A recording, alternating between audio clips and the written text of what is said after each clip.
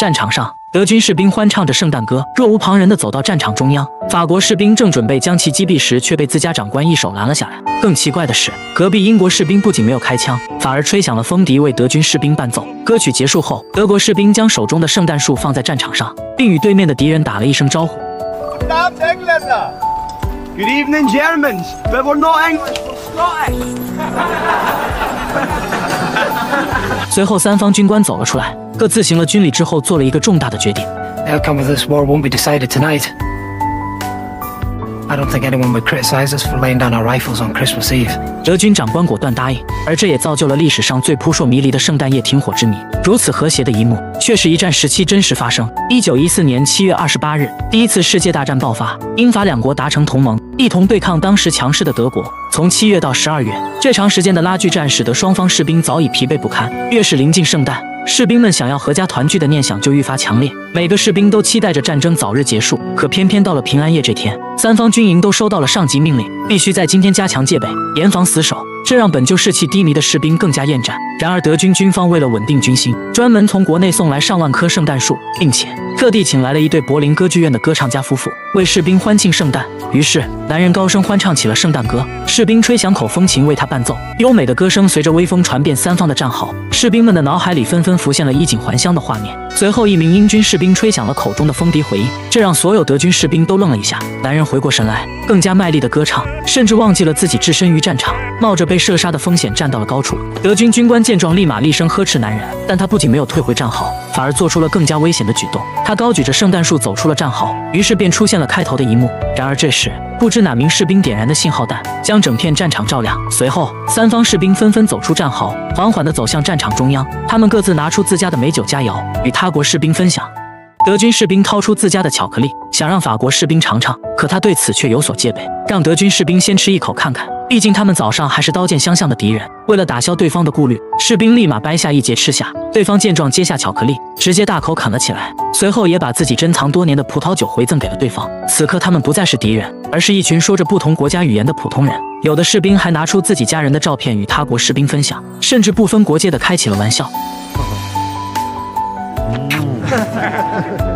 随后，大家不约而同地走向一个地方，原来是英方的神父准备为三国士兵做平安夜的弥撒。所有人的信仰虽不一样，但此刻士兵们都摘下帽子，聆听神父的祷告。如果没有战争，或许他们能够成为很好的朋友。仪式结束后，德国的女歌唱家用她天籁般的声音为大家献上一曲圣诞歌，给这一个危险又安全的夜晚画上一个圆满的句号。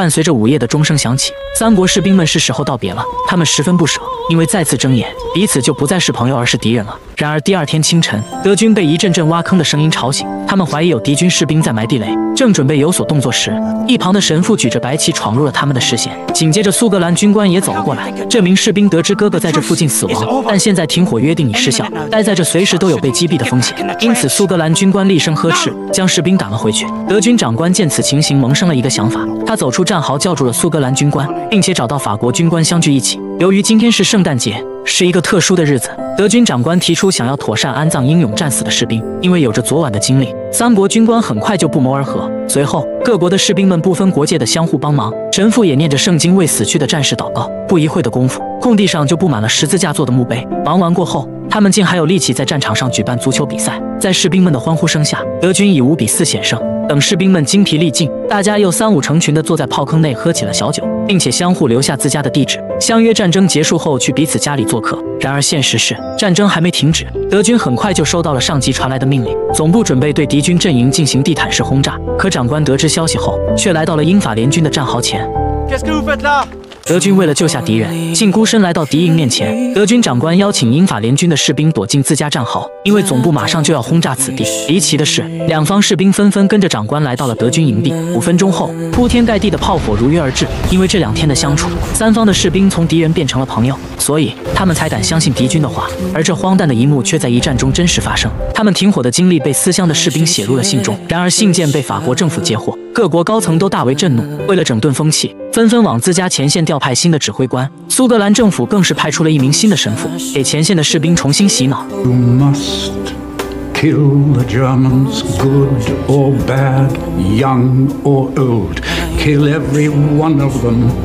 Lord be with you. and also with you. May God Almighty bless you, the Father, the Son, the Holy Ghost. Amen. Amen. 然而，这么多天的停战下来，一个不和谐的声音打破了这微妙的关系。这天，一名德军士兵走出了战壕，新来的英军长官见状，立马下令射杀。可士兵们互相对视，都不愿对昨日的好友开枪，于是将枪口朝向天空，连开了数枪。他们想提醒这个德军士兵赶紧逃跑，但这也惹怒了英军长官。士兵不敢违抗命令，不得已还是扣下了扳机。可这时，法国军官却从战壕跑了出来。原来被击毙的不是德军，而是一名法国士兵，因为他的母亲是德国人。战争打响后就再也没有见过。于是，在德军的帮助下，他终于与母亲见上一面。但谁又能想到，这见面的代价会是如此巨大？然而这件事被德军高层获知，总部认为这是严重的集体叛国罪名，为此将他们派去战火纷飞的东线战场。而这一去，兴许就再也回不来了，也可能无法兑现去到彼此家中做客的承诺了。伴随着火车的轰鸣声，电影戛然而止。战争无非是农场家的孩子跨越万里去与另一个农场家的孩子厮杀，他们自身本是无冤无仇，只是立场的不同就让他们刀剑相向。挑起战争的究竟是谁人之罪？我是郑军，主页还有更多精彩视频，我们下期再见。